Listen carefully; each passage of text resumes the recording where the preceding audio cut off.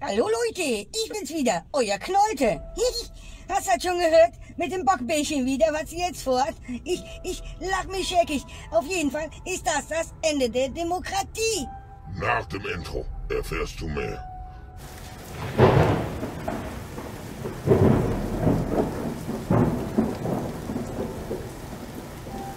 Ja, Leute, mein Name ist Ragnarök. Herzlich willkommen hier bei Knolte und Ragnarök. Aber Herr Ragnarök, bitte, so viel Zeit muss sein. Die Frau Bockbär, Bockbärchen, wie Knolte sie immer nennt, läutet das Ende der Demokratie ein. Der europäischen Demokratie. Ja, ja, ja, ja, ja. Hast du schon von gehört, ne? Also, bis jetzt war das ja so da mit dem Europagedöns da, ne? Äh, Dass sie sich immer einig sein müssen.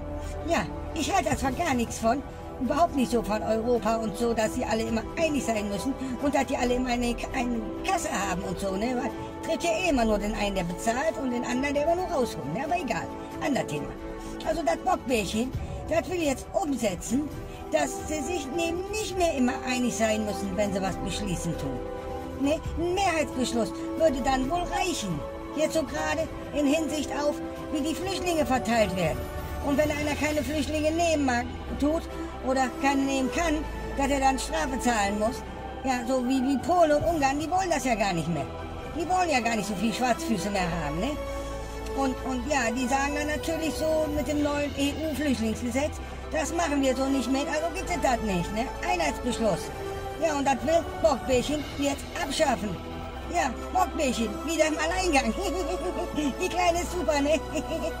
Wo ist die denn, super, mein Freund? Die ist ja nur. Ja, ich muss jetzt aufpassen, was man sagt, ne? Also, die ist einfach nur, ne? Den Rest müsst ihr euch halt denken, was die einfach nur ist. Wie geht denn sowas? Die mengt sich in Sachen rein, die sie nichts angehen. Überhaupt nichts angehen. Da macht sie das ganze Land nur lächerlich. Sie blamiert das deutsche Volk bis auf die Knochen. Und rassistisch ist sie auch. Ist rassistisch gegen das deutsche Volk.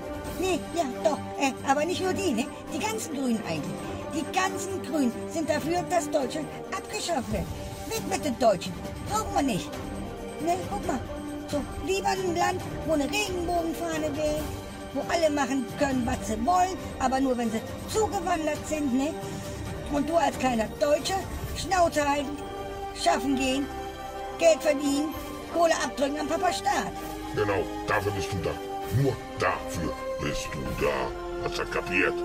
Gut, weitermachen. Leute, diese, Bockbärchen heißt es, Bockbärchen. genau die, die ist einfach nur. Oh. Weißt du, ich stelle jetzt mir mal vor, ich gehe jetzt mal in so ein Haus rein. Weißt du, da so, wo Zimmer an Zimmer ist und hübsche Frauen drin rumlungern. So das mit der roten Laterne. Ferkel, Ferkel, sowas hat auf meinem Keller nichts zu suchen. Klappe. Also stell ich mir jetzt mal vor. Und da wäre eine, die so bildhübsch ist, wie Bockbärchen. Leute, ich hätte keine Lust mehr, ich würde rausrennen. Kein Geld verdienen, Leute. Entschuldigung, weg hier. ja, ich glaube, nicht mal dafür wäre sie geeignet. Aber wer weiß das schon, wer weiß das schon.